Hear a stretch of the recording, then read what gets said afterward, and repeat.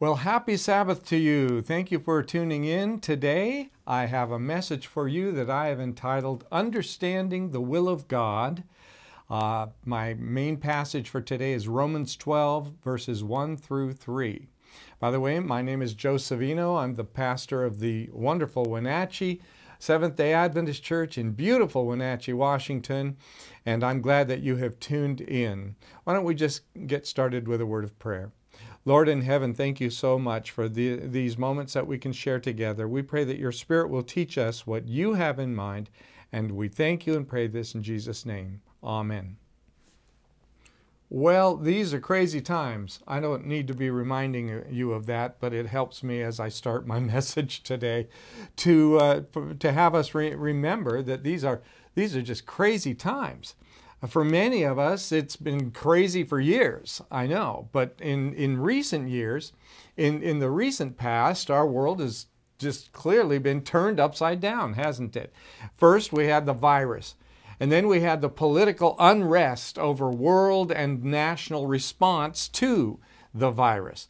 And then the fallout in, in businesses, the small ones, the large ones, it didn't matter, with thousands of uh, those businesses just closing their doors forever, impacting livelihoods not only around the United States but, uh, but globally. Wouldn't you agree? And now we have these new waves of sickness that are resulting in forced vaccinations uh, that are now being met with defiance in the name of free choice. And then you have a lot of conspiracy the- theories and and a major distrust of those in government who are supposed to be watching out for us, you know. People are just pulling their hair out, and I don't have much left, right? And that defiance of these, these forced vaccinations and things like that, the masking in stores, or you know, all of those things that are uh, hot topics today, that is now being met with impending pink slips. Uh, resulting in what looks like is going to be a, a loss of millions of jobs and possibly financial collapse and despair. Have a nice day. now, I wanted to, you know, make that uh, sort of an opener for us because we need some help here, don't we? We need to know what to do in these unprecedented times, to overuse a word that's uh, been at the front of a lot of pages these days, right? And some of us, honestly, are on the verge of having to make some huge decisions about the course of our lives and the lives of our family members, aren't we? We don't know if we'll have a job tomorrow. We don't know what, what our health is going to be like tomorrow. We don't know what kind of plans to make for the future. Uh, if we're out of a job or if we're out of a home, if our business collapses, you know, we just don't know. And we're going to have some huge decisions to make. Now, I share all that because I have noticed that there often comes a point in an eager Christian's life when they want to know what does God want me to do about this, whether it's what I've just described today or maybe some other situation in your life and some other challenge that comes to you, some other opportunity that comes your way, whatever it is. An eager Christian wants to know what does God want me to do about this? What is God's will for my life right now in the middle of whatever it is that I'm facing? But for me, the idea that God had a purpose for my life, as we, we've all been taught, that idea made a great impact on my life long ago when I read Ephesians 2:10. It's a familiar verse if you've read much of your Bible, where it says, "For we are God's workmanship, created in Christ Jesus to do good works. He's got a plan for us because it says, which God prepared in advance for us to do. You see? Yeah, yeah, you connect that with Jeremiah 29 11 that tells us God has a plan for us. God prepared in advance some kind of good work for you and me to do. That passage, Ephesians 2:10, told me that God has something then that he wants me to do. And it tells me there's something that God wants you to do as well. You see, because we are Christians, God has a purpose for us. He has a destiny for us to fulfill. He wants to put us to work for His purposes, doesn't He? So, how do I know what His purpose is? How will I know what God wants me to do with the life that He's given me to live? Well, knowing God's will for our lives actually isn't that hard. Uh, in fact, it's really quite simple. I shared with you a few years ago some very basic things uh, that God's made clear about His will for your life. And, uh, and since a few of you recently, in just con our conversations, have brought it up, they brought up this topic of what is, the, what is God's will right now for each one of us personally. Well, I decided to go back and research some of what I had studied years ago. Um, and I'm, I'm hoping that even if you recognize some of what I'm going to share from something you know I shared years ago, because I know you hang on every word that I share. Anyway, I hope it'll still be a blessing for you, and I hope that this will maybe establish, more firmly establish for you, your understanding of how to know God's will, because that's what I want to talk about. I do find this topic very interesting, so I might get a little bit uh, accelerated or animated uh, as we talk about it today. Uh, were you to be at, at church, you would re receive a bulletin insert. Um, and uh, it's, it's, going to be filled up on both sides, but very uh, sparsely, but for, for people to fill in. And you'll notice on the slides that I'll have some areas. If you want to get a piece of paper and a pencil, I think there are a couple of things you may really want to write down, okay? You have the, uh, the uh, benefit of being able to press pause. All right. So you might need to do that as I give you things to write down. But on one side of this bulletin insert, this note taking guide that I've made, uh, it, it, says Understanding the Will of God. And uh, I give the, the verse Proverbs 3 5, where it says, Trust in the Lord with all your heart and, and lean not on your own understanding. We want to understand the will of God. So here we go. The first point is, and most importantly, that we clearly know is God's will, is that He wants each of us to be saved. He wants us to be saved, right? Isn't that what uh, His whole purpose is, is to reconcile us to God? John 3.16 tells us, that's our, our, our major uh, fanfare for this point. For God so loved the world that he gave his one and only Son. He gave his one and only Son, that whosoever believes in him shall not perish but have eternal life. And, and of course, until we choose to commit to that purpose in our lives, nothing else really matters. Really. And I should just say right now if you don't belong to Jesus Christ, if you have not personally committed to Him and accepted His sacrifice for, for your salvation, His sacrifice for your sins, and accepted His salvation, the act of His act of saving you, something you couldn't do for yourself, if you haven't been buried in the waters of baptism, this morning you need to make that decision sooner rather than later. You see where this world is going, and I imagine that you're going to agree with me. So if you haven't yet made that decision, you've been putting it off, you know, and said, saying, one day I'll do that. Now is the day. Today's the day. Talk to me, talk to anyone in spiritual uh, authority, you might say, over you, who can help you with that. Get that done, all right? And then now we're going to go uh, forward assuming you've gotten that done because once you've got that done, then, number two, uh, once you belong to Him, He wants you to live a special kind of life. A special kind of life. 1 Thessalonians 4 3 says, It is God's will that you should be sanctified. That's, that's an old fashioned word that simply means made more and more like Jesus throughout your lifetime. It's God's will that you become sanctified over time, become more and more like Jesus. That passage goes on to say, after saying that, that, that you live that special kind of life by being sexually pure and by treating others with honesty and kindness. But there's so much more to uh, imitating Jesus, becoming more and more like Jesus. Wouldn't you agree? But that's what that uh, passage says. So the Bible makes it clear that when you and I belong to God, His will is that our lives should reflect that special relationship we have with Him, not in order to get to heaven, not in order to be saved, but because we are saved, we should re- let that re- be reflected in the life that we live, all right? In fact, number three, He wants us to live our lives as a model for the world to see. You see, 1 Peter 2:15 tells us that. He, he, it says, "For it is God's will that by doing good, by living this life that others can see, you should silence the ignorant talk of foolish men." That's simply saying that we should live such decent lives. We don't have to be, you know, uh, supremely perfect, right? Uh, but we should live such decent lives that even those who hate Christ won't have anything to accuse us of, those of us who re- represent Christ.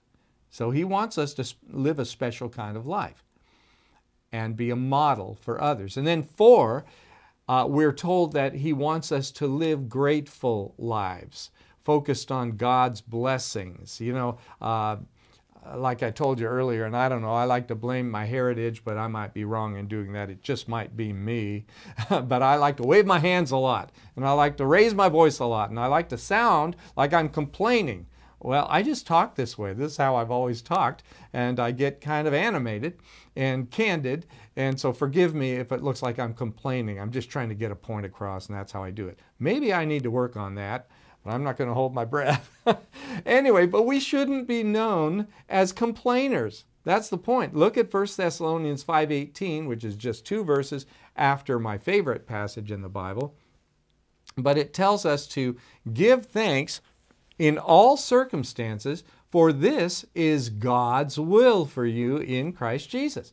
And you know, there, there are a lot more things that the Bible tells us, but uh, uh, about God's will for our lives, but these passages that I just shared right now, these are the ones that explicitly say this is God's will for a Christian's life. You know, he's just outright obvious, right? And, uh, and so we can understand that it doesn't matter what Christian this is about, this is God's will for, for each one of us. Now, that's just generic will of God stuff. That'll be true for every single Christian. But what I want to know, and what you want to know, is what's God's will for me now, in my life today, this daily grind that I experience? You know, honest questions like, like, like who does God want me to marry? Who does He want me, where does He want me to live? Uh, what does he want me to do for a living? Some of you might be having to make that decision soon if you are terminated from your job for one reason or another, right? What does he want me to do for a living? College students ask that a lot, or high school students uh, often do. What kind of ministry could I do that God could bless? These are important questions. Wouldn't it be nice if, if God just had a magic eight ball, you know, that we could consult with, with those questions so we could just know His will automatically? We just see His answer float to the top, right?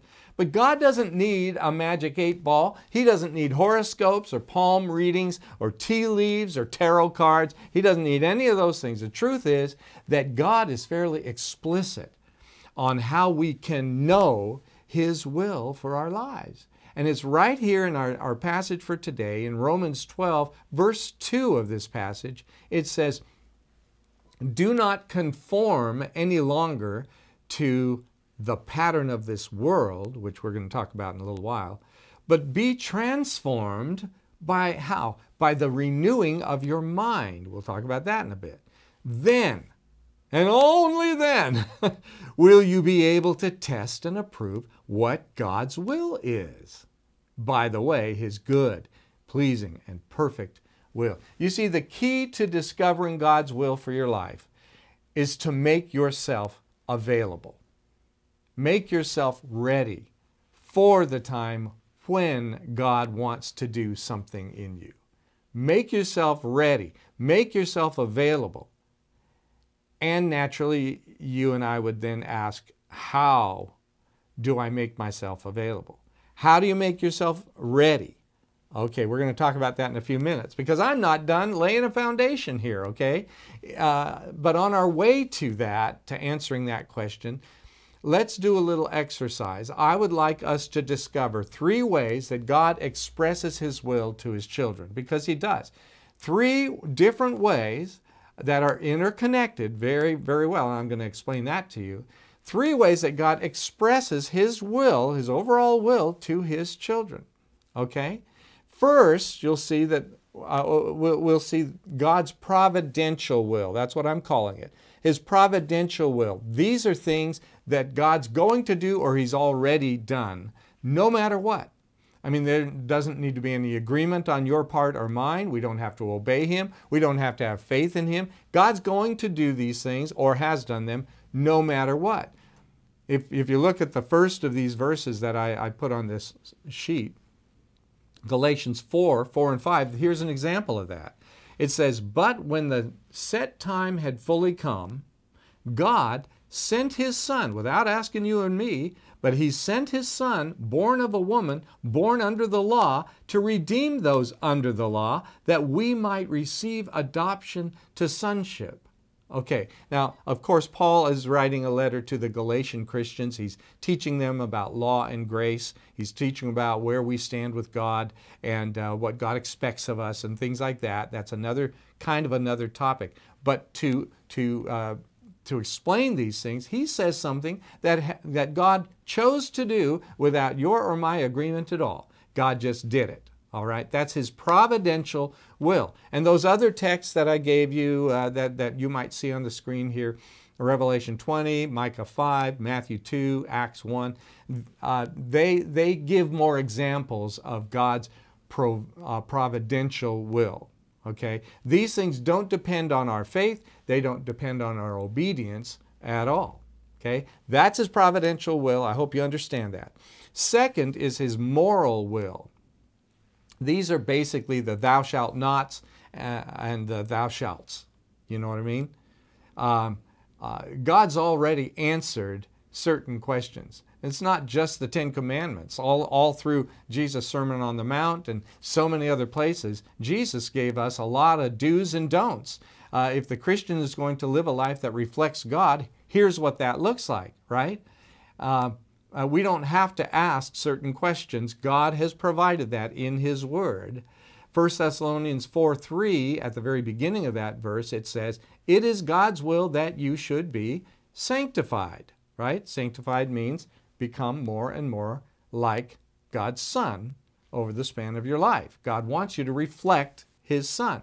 And then the verses that follow, uh, that, that the rest of chapter, uh, of verse 3 and the uh, the next couple of verses, they tell, uh, they give a list, you, you could say, of what that would look like.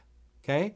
So God wants us to be sanctified. And these other texts that I, am putting on the screen explain themselves like that, uh, like that one does too, in Exodus 20 and 1 Peter 2. Okay, so that's God's moral will. He's laid out throughout Scripture what He wants our lives to look like. And third is God's personal will that we're finally getting around to. This is where the rubber meets the road. This is the nuts and bolts of our lives. You know, should I do this? Should I do that? That's what a lot of us are at, at, at the, the threshold of, right? This is where we're having to make certain personal decisions, and we want to know what God thinks of it. Should I do this? Should I do that? Specific decisions we each have to make and His personal will for each of us specifically. Over in uh, 1 Corinthians 1 1, Paul, as an example, was bold enough to introduce his letter by, by saying he knew that he had been called to be an apostle of Jesus Christ by the will of God. He, he wrote it that way. Called to be an apostle of Jesus Christ by the will of God. Now, that wasn't uh, necessarily true for another guy or, or, this guy over there or this lady over here, but but uh, but Paul knew that, he, and he was bold enough to say that God had called him specifically. God's personal will for Paul was that he served as an apostle of Jesus Christ. All right. So there's one example, and then we can we can actually uh, see an actual description of those who suffer according to God's will over in 1 Peter 4:19. What? Someone might be surprised that if you're given over to Christ, you, you, you would suffer. But, you know, real Christians, don't be offended at my statement here, but real Christians understand how that can be true. I mean, all you have to do is look at Joseph in the Old Testament. Joseph, man, did he suffer or what? He suffered all over the place for quite some time. And in the end, it served a greater purpose. And he conceded that, right? He was faithful all the way through that suffering. And then you look at Job as well. Here, here's a man who was, who was blameless, right? And went through so much, but God had a greater purpose. He had to deal with Satan. He had to teach Job a lesson, and he had to teach you and me a lesson, right? So there are Christians all the way th down through, through the centuries, down through what we call Christendom, who have suffered even martyrdom, right? Torture and martyrdom for God's greater purposes. All right? So now I've just shared these three ways that God expresses His will to His people. So to review, God has a providential, a moral, and a personal will for each one of us. Now, I want you to be sure you understand them well as we go on. So if you have to, and I'm sure you'd love to, just rewind so I can explain it to you again. But if you've got it, let's move on because I want you to fill in something right now. Write this down. Uh, based on what I've just shared, I'd like uh, you to, to get this next statement. It's like the punchline of the whole message, even though I'm probably not much more than halfway through it, okay? And it goes like this The more familiar you become with the providential will of God, in other words, the more aware you become of what God's going to do anyway, with or without our permission, or what God's already done or set in motion, the more familiar you become with that, and the more obedient you become to the moral will of God, in other words, what God already wants us all to do, right, that He's laid out in His Word, then the more the easier it'll be for you to discover the personal will of God. Does that make sense? I'm going to say it once more because I know it's a mouthful. The more familiar you become with the providential will of God, and the more obedient you become to the moral will of God, the easier it will be for, for you to discover the personal will of God. See, and so many people go, go through their lives, and whenever the heat is on, whenever they're, they're dismayed, they're, whenever they're overwhelmed, and they just say, Why won't God tell me what He wants me to do? Well, maybe they're not able to discern that because they have not followed these you know, or these three steps, or these, they're not aware of this strategy that God has for us to become uh, familiar with His providential will, for us to become obedient to His moral will, and then we'll find it a lot easier to discern His personal will for us. And I really like that strategy that God has. So hopefully you get that. Now I want to give you an object lesson about these three things, these, these three ways that God expresses His will to us. Uh, you should see on your screen a, a picture of, uh, well, maybe you can tell me what that is. Some of you uh, have been involved in construction or building things, and you know what this is. I'll just tell you, since you can't tell me through the, through the screen here, uh, it's a plumb bob uh, or, or a plumb line. Uh, people call it both things, and maybe they call it something, some other things too.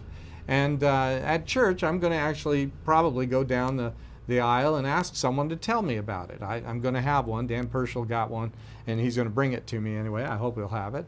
And uh, he's going to, and I want to ask someone to tell me about what this plumb bob or plumb line does.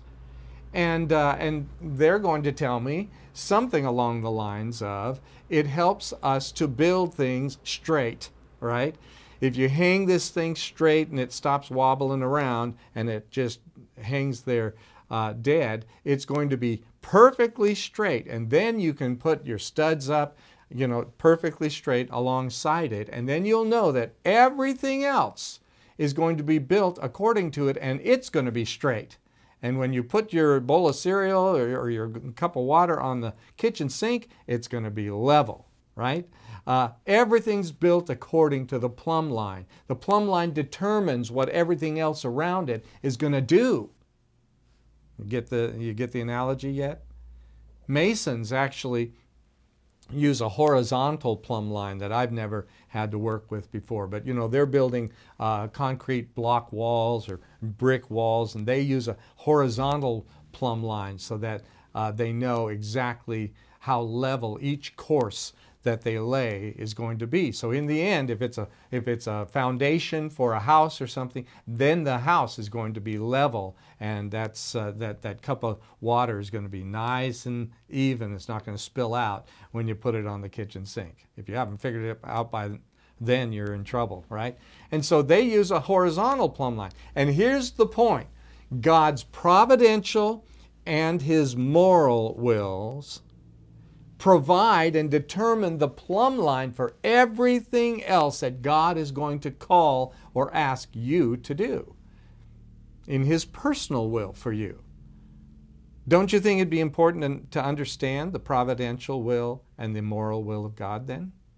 They are the standard by which all other decisions are made.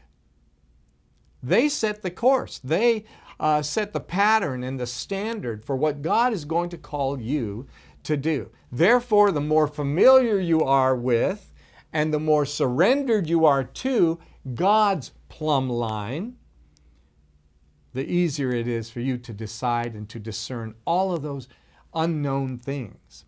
And so, again, it's right there in Romans 12, 2. But be transformed by the renewing of your mind. You see, the renewing of your mind, that's what these three uh, ways that God expresses Himself to us are all about. They help to renew our mind if we'll pay attention to them, right? Then it says you will be able to test and approve what God's will is. It's good, pleasing, and perfect will. So let's see, as we saw before here earlier, the for the follower of Christ, the key to learning God's will for your life is to make yourself available or ready for the time when God wants to do something amazing in you. Okay? When God wants to work in some way or another uh, through you. And I said we'd come back to, to this, and that is the question how do we make ourselves ready? How do you make yourself ready? I'm going to tell you how, you know how. Because I preached about it for years. And you've probably told your kids that, uh, kids this uh, for years too. And it's true. It always comes back to this you make yourself ready by learning to think like God thinks. And you learn to think like God thinks by reading your Bible, by going to church, by attending Sabbath school, by going to small groups, and by surrounding yourself with people who share your Christian values and who can encourage you spiritually. That's why you get together with them. You just don't go on a hike because the weather's good and, and, and stay away from other groups of people who can encourage you spiritually in a spiritually growing environment, which I like to call church, right? And, and Sabbath school, and well, all of these other things, right? In other words, you soak God's thinking into your mind by doing all of these things. And these are some of the best tools that He uses. these, are not, these are His ideas, not the church's ideas, to help you with that, to help you do that, to make yourself ready and available for God to do something amazing through you by, uh, by, by making His will known to you, right? More discernible to you. And fortunately, most, but not all of you, know that, and that's why you've either tuned in today or that's why you know you'll, you'll be at church uh, whenever you're able to come. You understand that, so I'm kind of preaching to the choir today, but not all of you. Some of you were dragged there, right? Some of you were dragged into the room to watch this. Some of you get dragged regularly to church. and you don't appreciate that. But for most of you, I'm preaching to the choir. You know how important these things are. That's exactly how, by the way, some of the great men and women of the Bible prepared themselves uh, for God's purpose.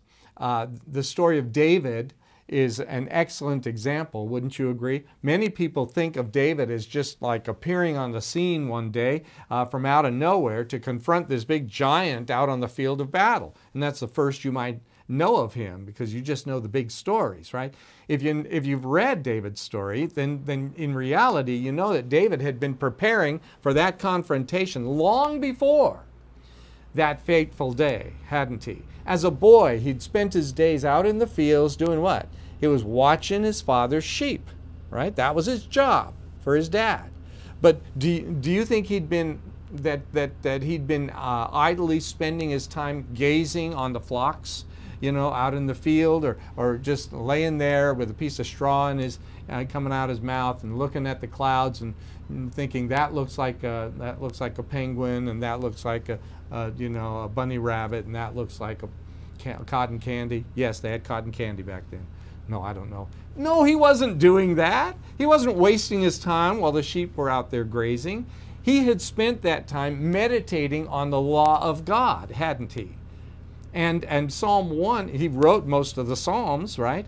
And Psalm 1, verse 2 tells us that, that he, he spent all of his time meditating on the law of God. It says day and night. Day and night he did that. In fact, David was so involved in that activity that he began to write songs that spoke of the glory of God from what he had found in the scriptures, right? That's where we got the Psalms. And David felt honored, by the way, when, when he got brought into the court of King Saul to ease, to help ease that king's tortured mind, if you know the story. And he would ease the king's mind with those very Psalms that he had written while he was out in those fields, right? And so when David went out onto the field of battle, you know, against Goliath, he had long been prepared by his constant exposure to God's mindset, so much so that he became offended, not personally, but on behalf of God, right?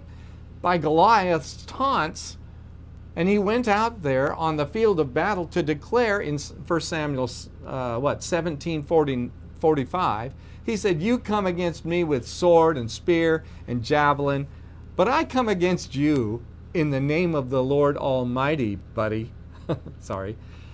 And the God of the armies of Israel, whom you have defied. You know what he was saying to big, big boy Goliath? He was saying, Good luck. That's what he was saying. See, David had allowed God's thinking to transform his own thinking. He, you know, he understood this principle.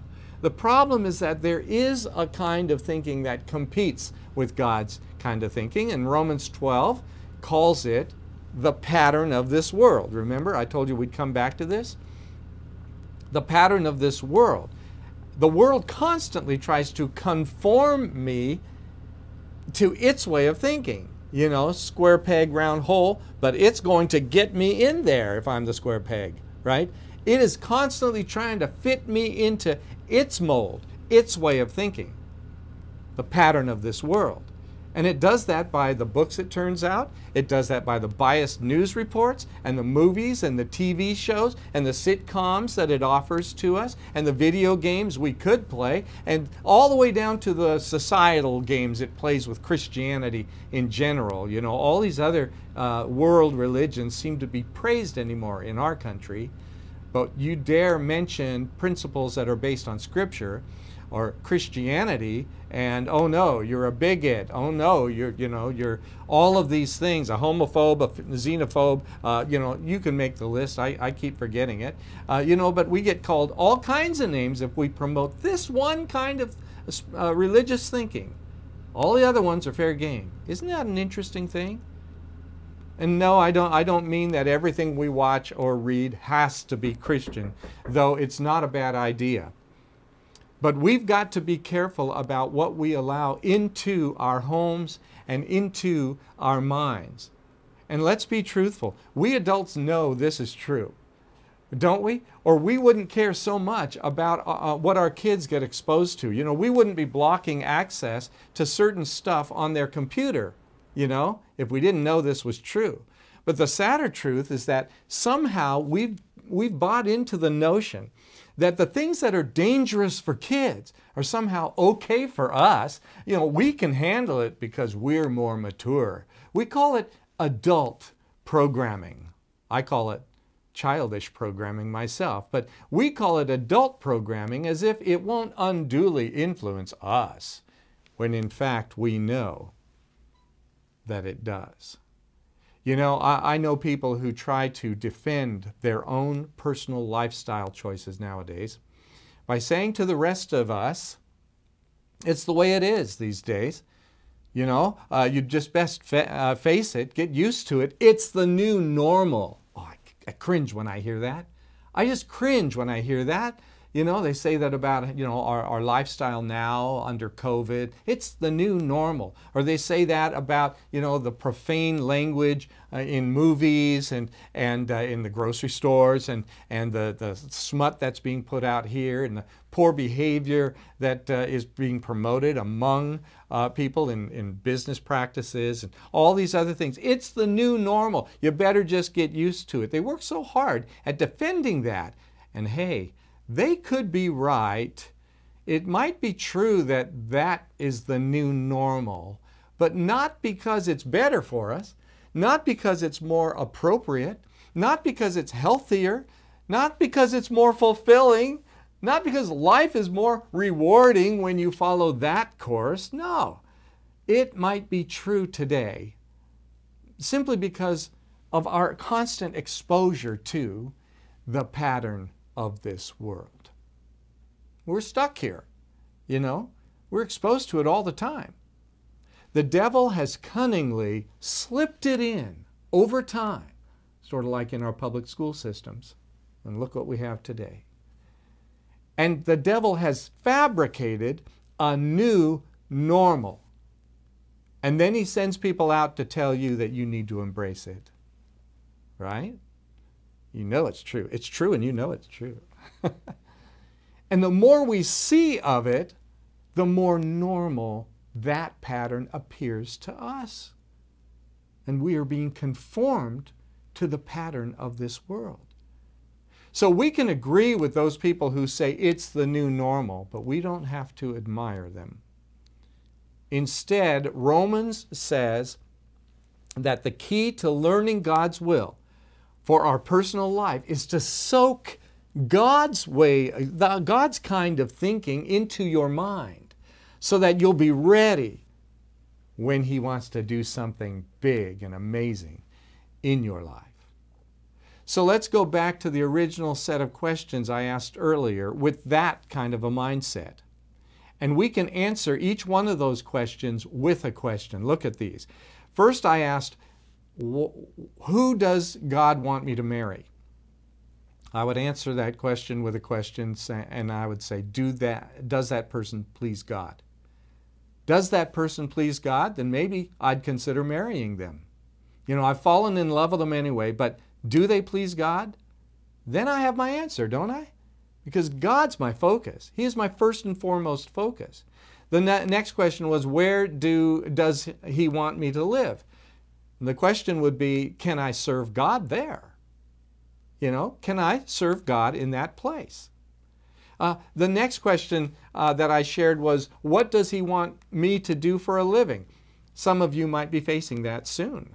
You know, if you're standing by your principles, you know, in regard to, I don't know, uh, vaccinations or masking or certain uh, behaviors at, at, uh, at work, or even at school or, uh, or you know, the, the terrible things that uh, the law is forcing institutions to teach people about diversity training and a number of those things that, that some of which go way too far you know and so you're standing for your principles whatever they are and you just might be having to look for a new job. What does god want me to do for a living? If i have a career change or if i'm in high school and i'm now thinking about uh, a career The question that I would answer that question with is Can I use that job to witness for Him? Can I use that job to serve others in a way that, that introduces them to Jesus? You see, God is first. And then the, the, I think the last question I asked was, what kind of ministry can I do that would please uh, God? Uh, these are all honest questions, aren't they? How can I please God? What kind of ministry should I be involved in? The question I would respond to uh, that question with is, what am I positioned to do that's going to honor Him right now? Right now, how am I positioned? What, what are the circumstances that will allow me to honor God? You know, that could be my ministry, the ministry that God wants me to, to do. So when we ask questions like that, we don't need to flail our hands up in the up in the air. God has given us a strategy. He has given us a program, a certain operation, operating principles by which He can uh, help us to understand and discern His will for our lives. And if you and I will put God first in our decision making, He'll always find a way to use us. His Word assures us that He'll always find a way to reveal His will to us so, so we can let Him do what He wants to do in us. God's in control. And He knows, He knows our hearts. And if He sees a desire in my heart that I should be inside His will, within His will, somehow, you know what? He, he is going to make it happen. The key thing, again, is that you always make yourself available for God to use you. That's the step that many of us skip over. And then we wonder why God's not speaking to us. And if you'll do that, then you'll always be ready for God to do His will in your life. God has a purpose for our lives, a destiny for us to fulfill. And my friend, I tell you this to give you hope. Like Paul always wrote to his recipients, the Christians in the very various churches he wrote to. I, I tell you this to give you hope. We can count on God to work out His will in our lives. All we have to do is make ourselves available to Him, and He'll do it. Thanks for joining me today. Let's close with a word of prayer. Lord in heaven, you are indeed very good to us. What a mighty God we serve. The angels bow before you. Heaven and earth adore you. What a mighty God we serve. Thank you for showing us in a new way, perhaps for some, uh, just what it means and what is involved in, uh, in understanding your will for us most deeply. And we thank you for this beautiful time that we've enjoyed together today. And we pray that you'll bless us to be faithful and to enjoy you in the days, weeks, months, and years to come. In Jesus' name we pray these things. Amen. Well, thanks for joining me today. I hope that you have a great rest of the Sabbath, and I'll see you either here on this screen next week, or maybe if you can make it to church, it's even better. All right? God bless you, and we'll see you next time.